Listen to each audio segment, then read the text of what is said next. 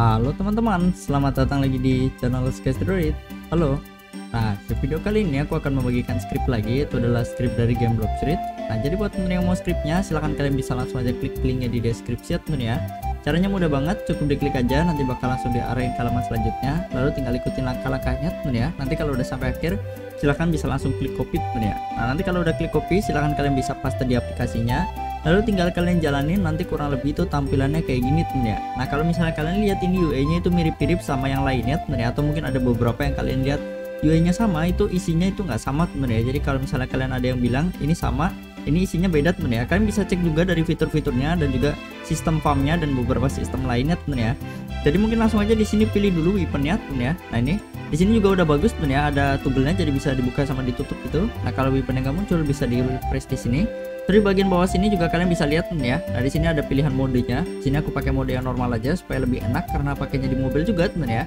Dan juga kalau misalnya kalian lihat di sini temen ya, waktu auto farm itu nanti bakalan ada fitur yang stop teleportnya temen ya. Jadi kalau misalnya kalian mau stop bisa temen ya waktu lagi teleport gitu.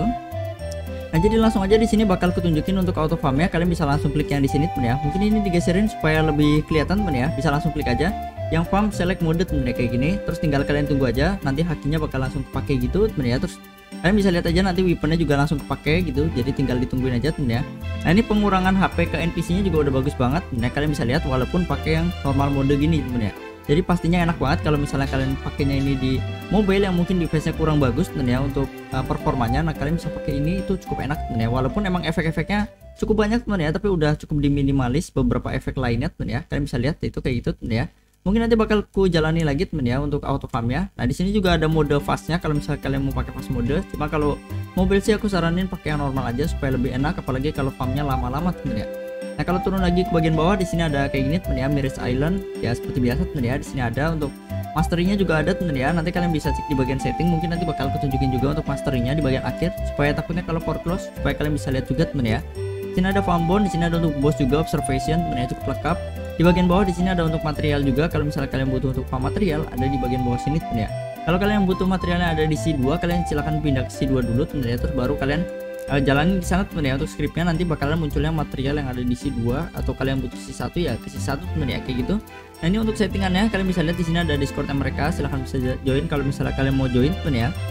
Mungkin nanti bakal putaran juga di pin komen kalau misalnya kalian minat untuk join teman ya kayak gitu Nah di sini ada anti AFK nya juga bisa kalian onin di sini supaya nanti kalau misalnya lebih dari 20 menit kalian nggak keluar dari game temen ya. Nah di sini juga ada metode untuk farmnya bisa dari samping, bawah atau atas kalian bisa setting-setting gitu temen ya. Nah di sini ada untuk distance nya jadi kalian bisa kalau misalnya nggak ke hit bisa dikurangin distance supaya lebih deket ke NPC nya temen ya. Di sini ada settingan-settingan lainnya juga kayak misalnya fast tag terus di sini ada yang bringnya mau kalian aktifin atau enggak silahkan bisa disetting lewat sini temen ya nah di sini juga ada disable damage text juga kalau misalnya kalian butuh lebih ringan terus beberapa yang lainnya ini yang buat FPS booster itu kalian bisa aktif-aktifin lewat sini temen ya kayak gitu contohnya. Nah ini bagian bawah ada untuk skill-skill. Nah ini juga salah satu yang cukup uh, berguna temen ya buat terutama kalau misalnya kalian yang pakai fruitnya itu ada yang untuk transform kayak punya ini leopard kan ada transformnya jadi bisa di offin lewat sini temen ya. Jadi di offin dulu terus baru kalau misalnya kalian mau setting untuk persentasenya bisa lewat sini temen ya. Nah kayak gitu. Nah di bagian sini untuk weapon weapon gitu kayak quest quest gitu temen ya. Nah, elite hunter terus kayak prince ini temen ya kayak gitu soul gitar. Nah ini udah ada soul gitarnya bagus. Temen ya ada CDK nya juga temen ya kalian bisa lihat. Nah ini kalau misalnya kalian mau pakai yang kayak CDK terus beberapa yang lainnya yang quest quest gitu pastiin kalian udah memenuhi requirementnya temen ya. Kayak misalnya swordnya udah memenuhi terus levelnya atau mungkin masteringnya dan lain sebagainya yang penting harus memenuhi dulu temen ya. Terus baru nanti dia baru mau jalan ya. Kalau kalian belum memenuhi nanti biasanya dia nggak mau jalan kayak gitu temen ya. Kayak diem aja nah bagian sini ada Yama Vendor cukup lengkap temen ya. Kalau untuk masalah quest questnya ini udah banyak banget temen ya. Yang terbaru juga udah ada CDK sama Soul Guitar juga udah tersedia gitu temen ya. Jadi bagus banget. Nah ini kurang lebih kayak gitu God Human juga ada temen ya. Dan juga nanti mungkin aku bakal share beberapa script lainnya juga yang uh, kalian yang cari yang untuk teleport chest gitu tuh ya. Untuk collect collect chest katanya di mobile itu banyak yang nggak work itu tuh ya. Mungkin nanti aku bakal buatin video terpisahnya tuh ya. Nah di bagian sini ada untuk stat seperti biasa tuh ya. Kalau meningkatin stat untuk player PVP gitu tuh ya nah ini kayak gini tuh ya untuk PVP nah di bagian bawah juga ada lagi tuh ya untuk teleport gitu. Teleportnya udah ada yang sibis juga jadi pastinya cukup enak kalau misalnya kalian mau paket tuh ya.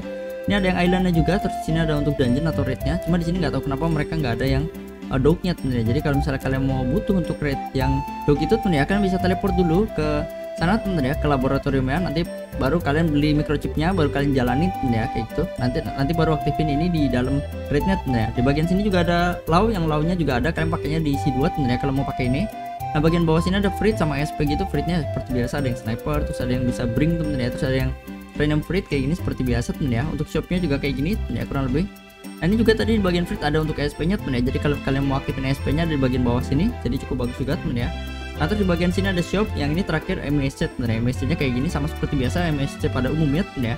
Jadi mungkin langsung aja di sini bakal aku tunjukin untuk di bagian yang masteringnya teman ya Supaya kalian bisa lihat. Nah ini kalian bisa naik lagi ke bagian atas Pastiin juga udah ke setting dengan benar teman ya. Terus kalau udah bisa turun ke bawah baru aktifin yang ini temen ya yang Frit Mastery jadi ini bisa digeserin juga supaya kalian bisa lihat temen ya jadi kurang lebih gini temen ya untuk Frit Mastery-nya nggak tahu for close apa enggak makanya aku jalaninnya di akhir temen ya. Dan juga bagus sudah bisa disetting. Tapi dia itu nggak ada magnetnya belum ada magnetnya. Mungkin nanti ke depannya bakal dikembangin juga temen ya untuk sama developernya supaya bisa pakai magnetnya gitu temen ya. Jadi mungkin kurang lebih gitu aja temen ya untuk video kali ini. Terima kasih banget buat temen yang udah nonton videonya. Buat temen yang suka semua videonya bisa di like dan buat temen yang gak suka semua videonya bisa di dislike Terus buat yang masih kebingungan atau mau tanya-tanya, silahkan bisa tuliskan di kolom komentar atau bisa join ke Discord ada di deskripsi buat Discordnya. Dan buat teman yang belum subscribe, silahkan bisa subscribe dan aktifkan lonceng notifikasinya supaya nggak ketinggalan upload terbaru dari channel Sketch Thank you, see you next time, bye bye.